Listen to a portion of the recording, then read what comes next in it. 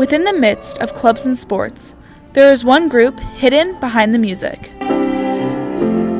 We are looking more into like getting ourselves out there and getting more people to understand like what choir is. We're trying to show the community and especially people here at our school that it's more than just like singing. You have to bond and have a certain connection so that it really sounds good. And recently, this program decided to turn the page for a new sound. Um, Panthers, you even get the opportunity. Now we have Miss Palmasano in and it's a fresh start. She's not too much older than us, so she's basically like a huge big sister to us. The adjustment to Geneva has been super easy. Everybody's just been super awesome and making me feel at home here right away. I leave every day from work super happy from all the people that I work with every day. Happy Friday, everybody!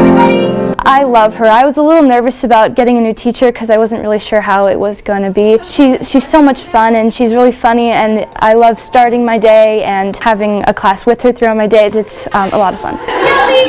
But for Miss P and the students, Juniors and seniors. choir is about more than just hitting the right notes. Let me know when you're good to go. My favorite thing about working with the students is how much they consider choir uh, like a family of theirs.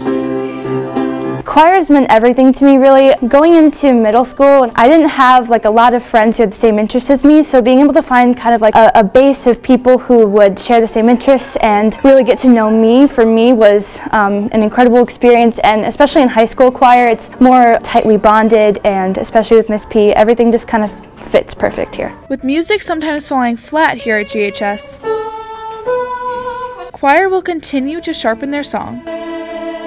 For GTV News, I'm Carly Rasmussen.